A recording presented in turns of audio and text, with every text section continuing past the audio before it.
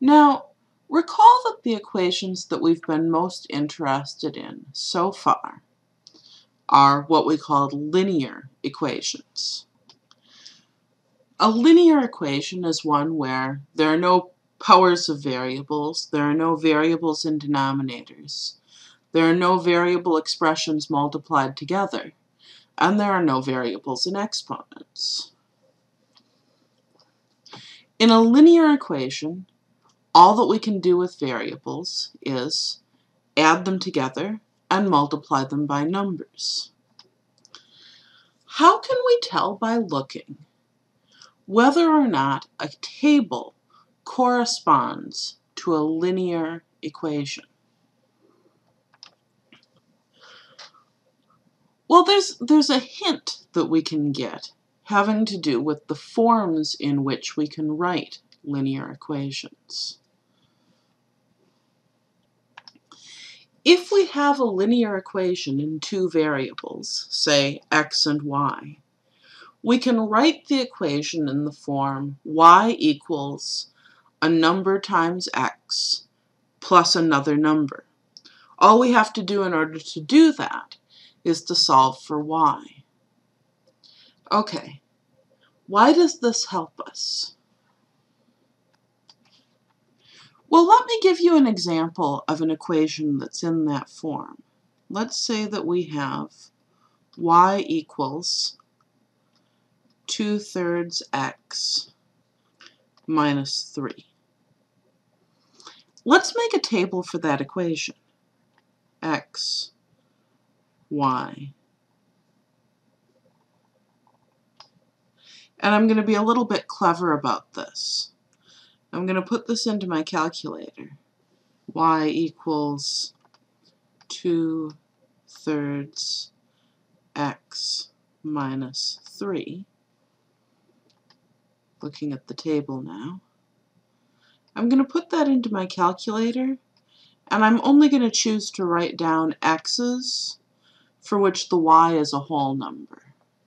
So I'm going to take x is negative 6 y is negative 7.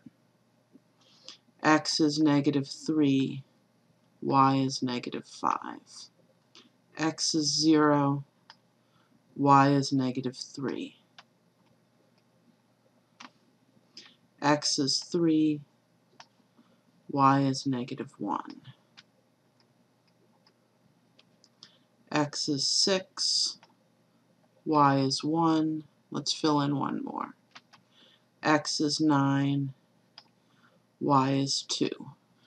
Well, check this out. Look what happens between every pair of rows in this table. x goes up by 3, y goes up by 2. x goes up by 3, y goes up by 2. Okay. That, that makes a certain amount of sense. I think what we're seeing here is a constant change in x will produce a constant change in y.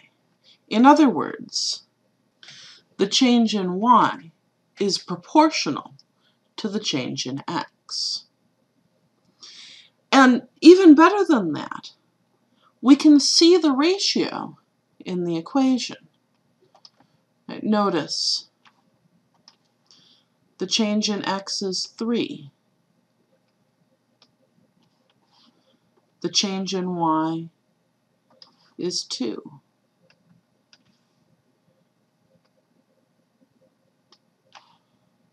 The number m in the equation is the ratio of the change in y to the change in x. What about the number b? Well, we see that in the table too. The number b in the equation is the value of y when x is 0. Now, there's a slightly different way of understanding the number m as well. Let's look at a version of this table where we actually fill in all the numbers. Just for the sake of demonstration, I'm going to pick some values of x where y is positive. Right, so when x is 6, I have y as 1. When x is 7, I have y is, it looks like it's 1.6 repeating. Right, that's 1 and 2 thirds. When x is 8, it looks like I have 2 and 1 third. When x is 9, I have 3. Notice what's going on here now. In each row, I'm just adding 1 to x. What do I have to add to 1 to get 1 and 2 thirds? Well, 2 thirds. What do I have to add to 1 and 2 thirds to get 2 and 1 third? Well, I add 1 third and that brings me up to 2. Another third and I have 2 and a third. And then if I add another 2 thirds to that, it brings me up to 3. If we decide that we want each value of x to go up by 1, then we add 2 thirds to y every time x goes up by 1. Now this perspective shift between the ratio of the changes and the change in y when the change in x is 1 is going to end up being really, really useful to us.